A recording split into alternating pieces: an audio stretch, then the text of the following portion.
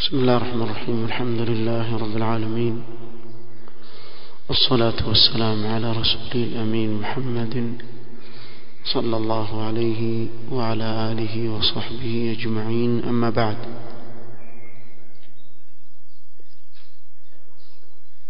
Tukiwa tuendelea kuizungumzia ibada ya haji ikiwa leo kama sikukosea tarehe tatu ya mwezi wa Dhulhijja mwaka 1437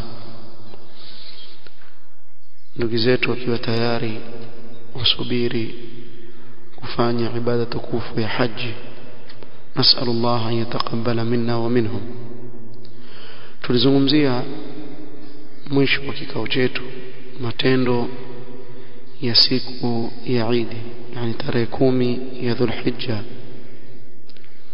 tukasimamia katika tawaful ifadha. Sema biidhnillahi taala leo tutajaribu kumalizia kuzungumzia yale matendo yanayofanywa katika siku hiyo. Tawafu ifadha nao ni nguzo katika nguzo za haji tawafu ifadha ni nguzo katika nguzo za haji bimaana mtu asipofanya tawafu ifadha hana haji haisihi tawaf hii kabla ya mtu kusimama arafa. Kwa hivyo tawafu lifadha ni baada ya kusimama arafa siyo kabla ya kusimama arafa. Wakati wake unaanza baada ya nusu ya usiku wa kuamkia Eid baada ya watu kuondoka Muzdalifa.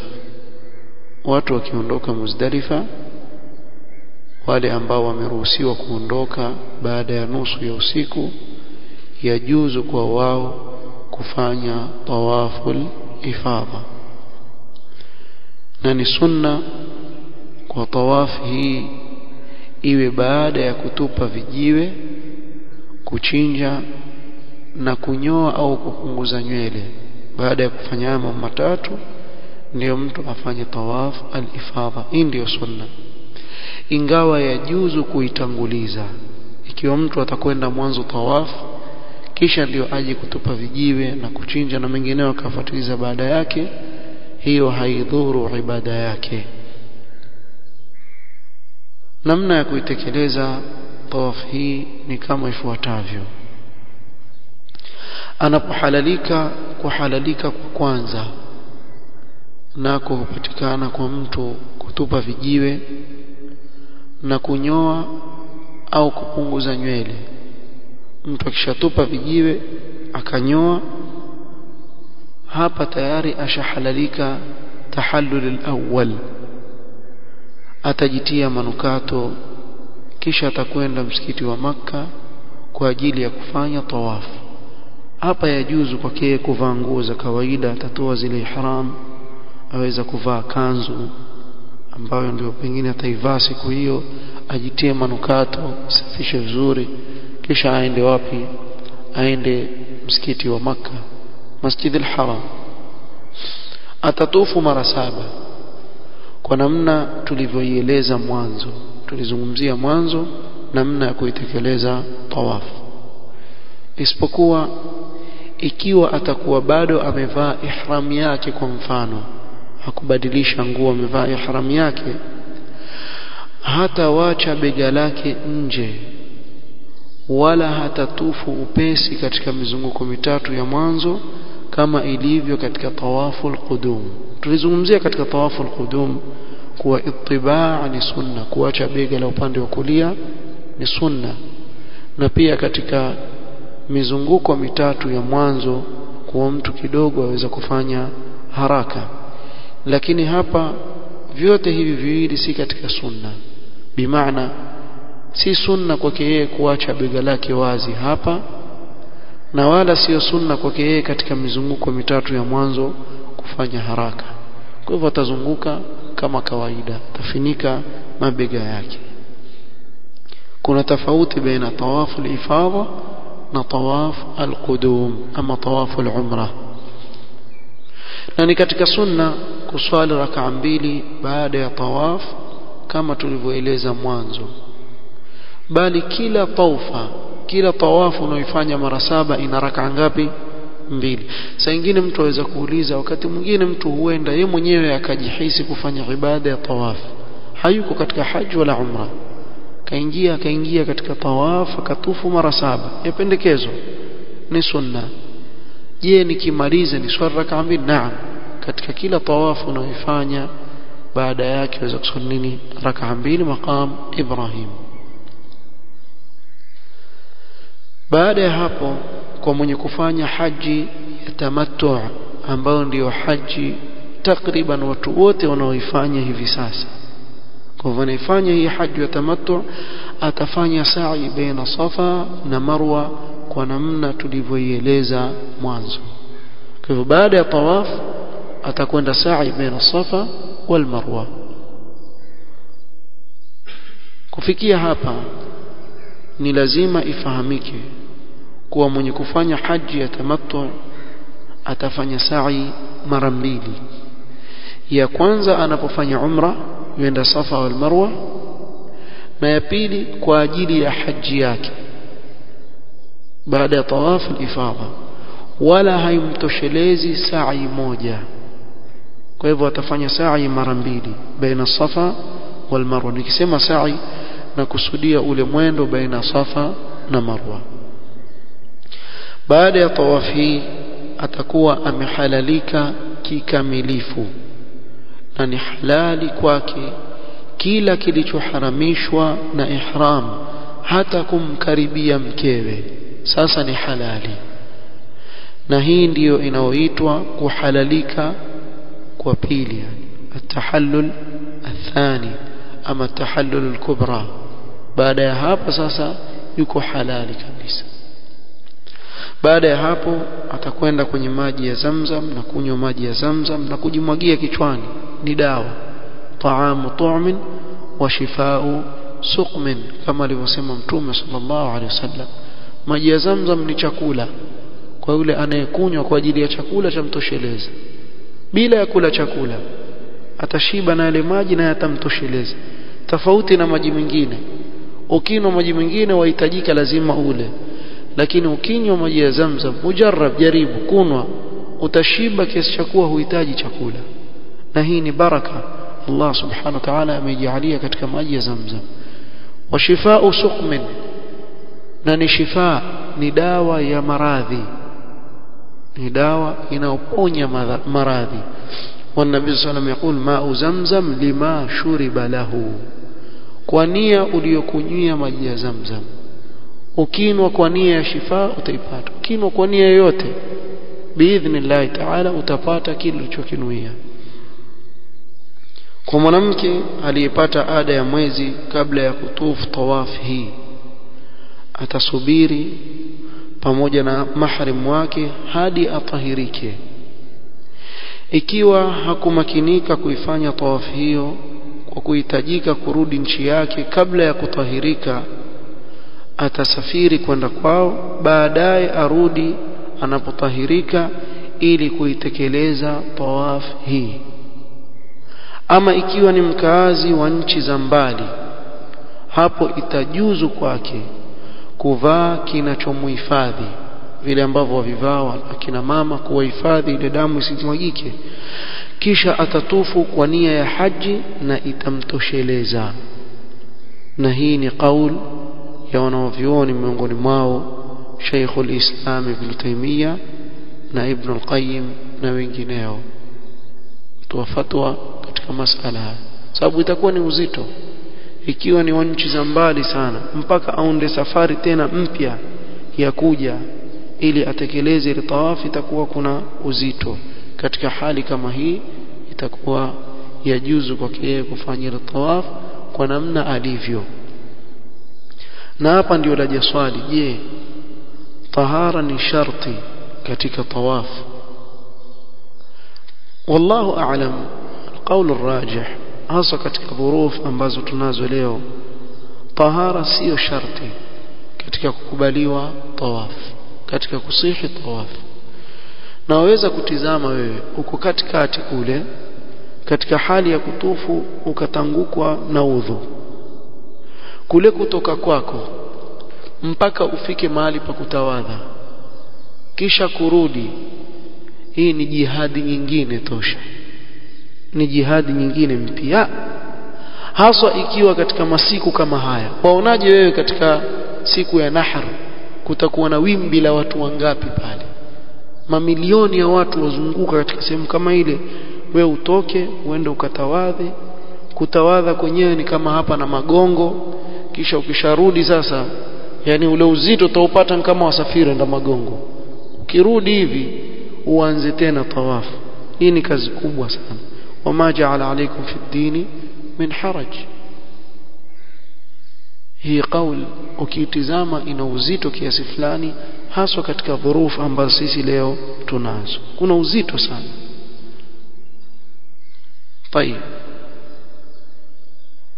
baada ya kutufu tawafi nafikiri hili ni swali baadhi ya ikhwa walikuja kauliza kuhusu mwanamke aliye na haid jawabu lake liko hapa baada ya kutufu tawafi hii kwa yule anayefanya haji ya tamattu atafanya sa'i baina safa na marwa kwa namna tulivyoeleza mwanzo na hii ni kama nilivyoeleza طيب kulala mina baada ya kutufu tawafu al-ifadha atarejea mina abaki huko siku hiyo ya Eid na masiku ya tashriq. Nazo ni siku tatu mchana na usiku. Tarehe 11 12 na 13 hizi zaitwa ayam at-tashriq. Masiku haya matatu. Kulala mina ni katika mambo ya wajib katika haji. Kule kulala mina ni wajib kinachozingatiwa katika kulala mina ni kupitisha sehemu kubwa ya usiku katika sehemu hiyo. Kwa sababu sheria haikuweka mipaka katika muda wa kulala mina. Kwa mfano usiku una masaa kumi. Mtu kukaa masaa sita yatosheleza aisabike huyu tayari ashakaa nini? Mina hakuna kosa kwa yule aliye na uzito akiwa atakaa mchana wake Makka na usiku arudi mina. Na ni bora zaidi kwake kukaa mina usiku na mchana. Ingawa ile ni huu ni ubora lakini ukitizama kwa yule anayeweza akakaa mchana katika Masjid al-Haram kisha usiku akarudi Mina kwa hali ilivyo ikiwa iwaweza afanye. Kwa nini? Kwa sababu ukitizama vizuri tuzungumzia waqi' ilivyo. Utakuta katika mahema yetu ya Mina wengi katika watu huwa mbali na ibada katika masiku yale.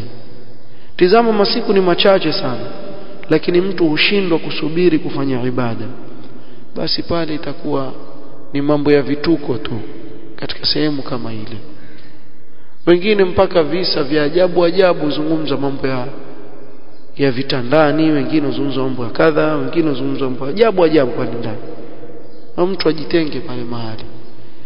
Ikiwa iwaweza kukaa mbali na wao kufanya ibada pale pale Mina ni bora zaidi.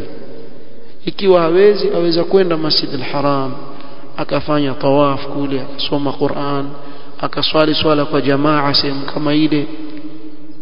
Kisha ikifika jioni arudi zake katika muhayyam yao ya Mina usiku ule upitishe katika sehemu ya Mina. Wallahu a'lam. Na yajuzu kwake kuzuru al-Kaaba na kutufu katika kila usiku wa Mina kwa sababu Mtume sallallahu alaihi wasallam alifanya hivyo.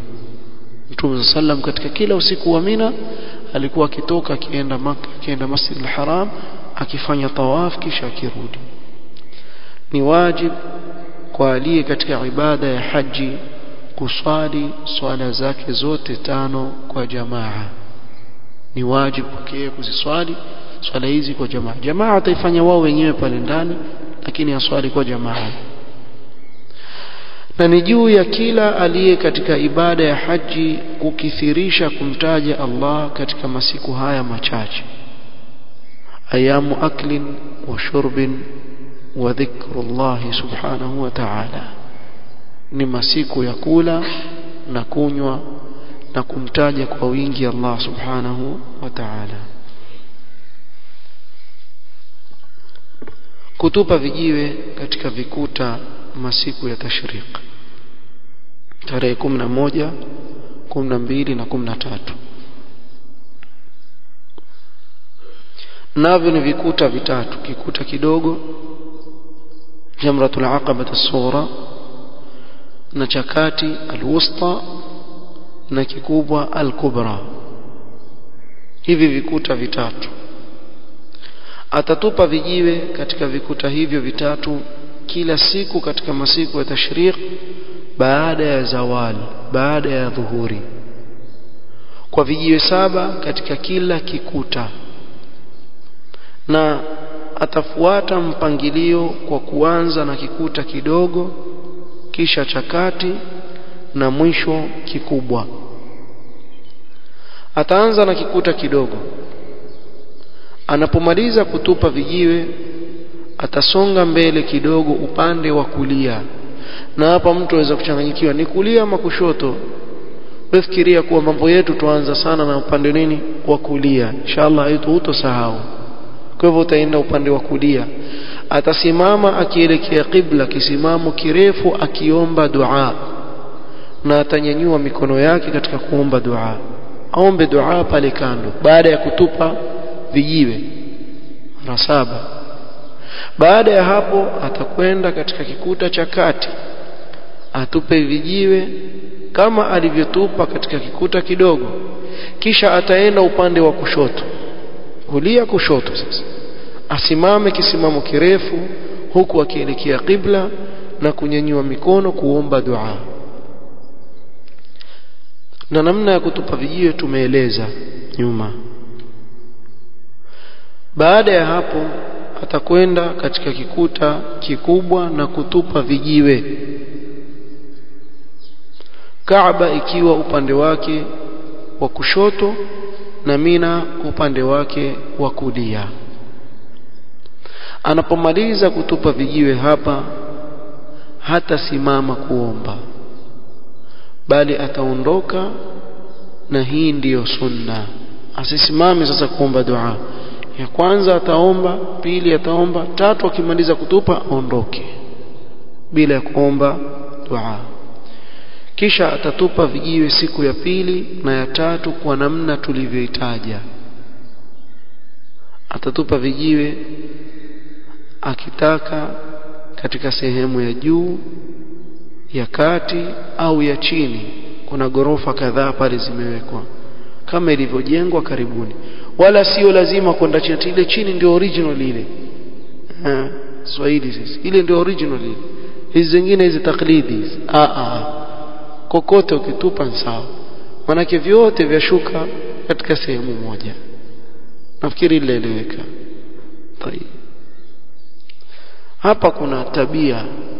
Watu wakishamaliza kutupa vijiwe huwa waenda kando wajua kufanya nini? Si kuomba ya Facebook jamaa ya Facebook. Shekhe na grupu lake wasimama wapigwa picha ili waitie kwenye Facebook wasema watu waone wako wapi? Wako haji bwana. Au lengine utaliona waita nini? Selfie. Piga picha bwana. Mwingine amwambia mwenzake piga picha. Shike vizuri ashamaliza kutupa vijiwe ajifanya kambe. Kisha ile apiga picha pa ile jiwe kambe yorusha jiwe. Kisha kishapiga hivi ile pose ile kali kabisa. Atuma throwing stones at jamratul aqaba. Pale chini sasa. Nyinyi mwa comment masha Allah taqabbal Allah minna shukran shukran. Shukran. Hivi ndio enda hii ibada mashallah mzuri kabisa. Haina riaa wala sumha. La riaa fiha wala sumha kisha mtu akamwambia wewe wafanya ria wewe waingilia aliyoko moyoni mwangu we sasa tuseme nini umpiga picha wafanya ibada wajituma ulimwengu mzima wa kuone wewe kuwa wafanya ibada. Mashaallah yani ile ria watu waikimbia kuna wengine waikimbilia. Yenyewe ukiwa waikimbia bado wajishuku. Vipi mtu anayejikimbilia kisha aminun ala nafsihi kuwa mimi sina kabisa hilo jambo. Sina kabisa. Na akirudi hapa uziona zile snap bana nastuma ndio yule mmoja amuonyesha mwenzake cheki hii bana tukio arafa hapa. Sio? Ah amwambia mzee mbona mtokee hivi? Ah nalia hapo. Nilikuwa nadia wewe. Yani yeye alikuwa yualia sana. Napiga picha.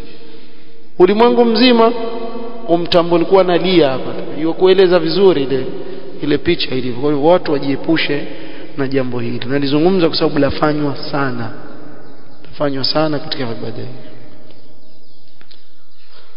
Kumalizia kufanya haraka katika masiku ya Mina. Allah subhanahu wa ta'ala sema wadhkuru Allah fi ayamin ma'dudat.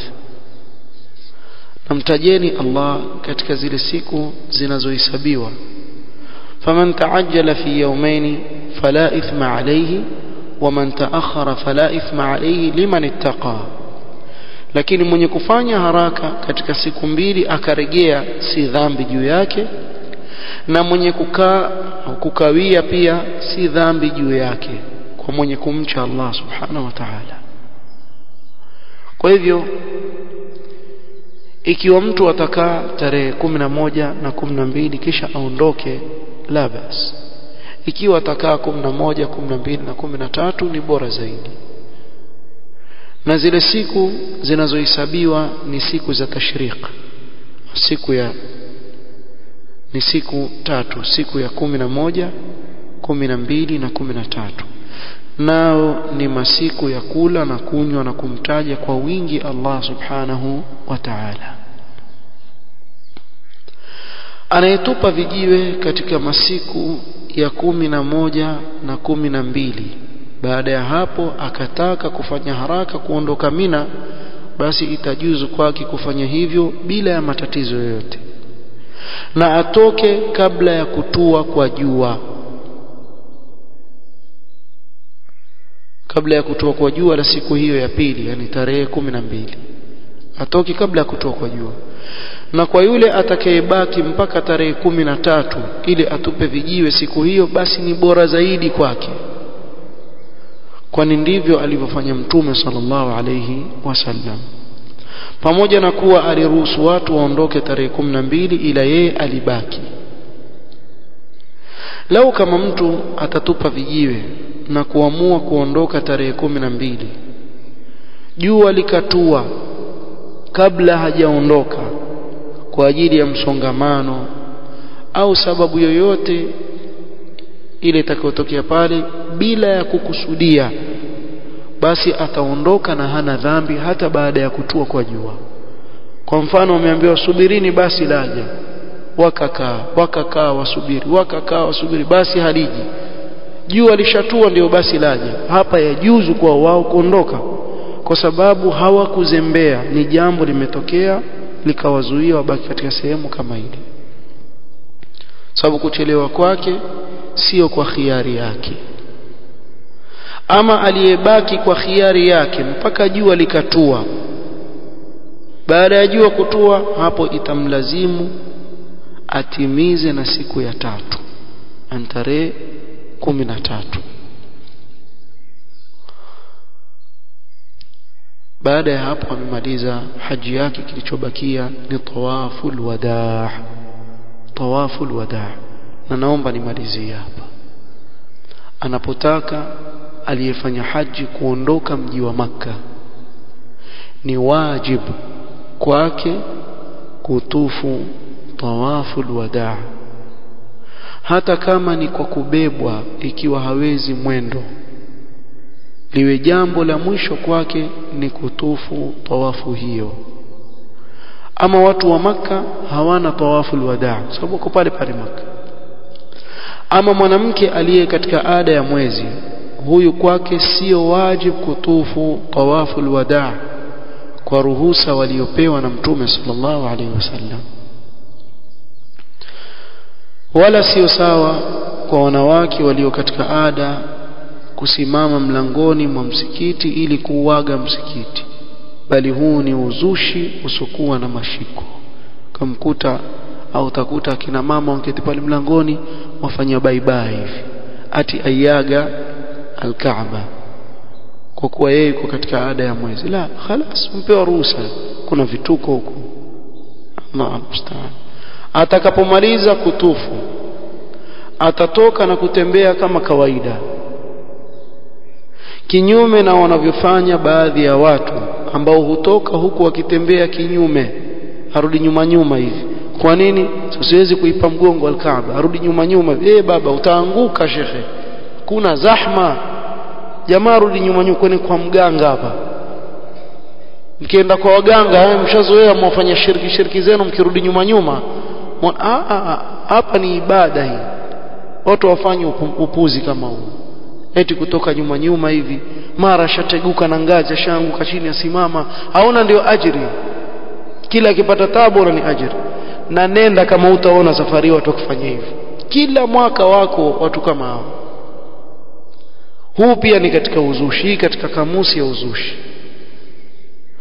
Baada ya tawafi asibaki maka ila kwa ajili ya dharura kama kukimiwa swala aswali kuswalia jeneza au kununua zawadi akiwa njiani aweza kununua.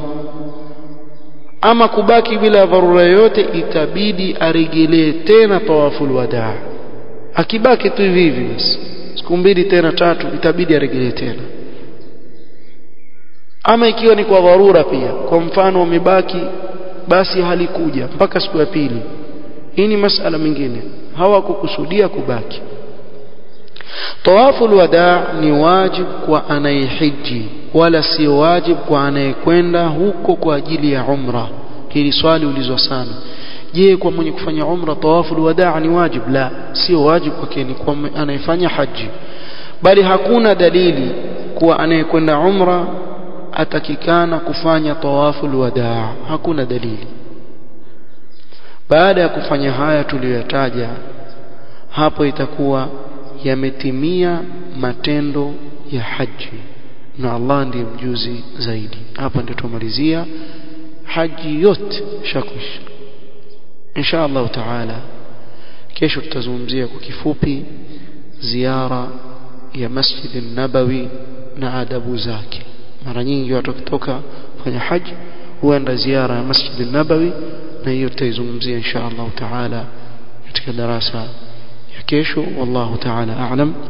سبحانك اللهم وبحمدك. أشهد أن لا إله إلا أنت. أستغفرك وأتوب إليك. وبارك الله فيكم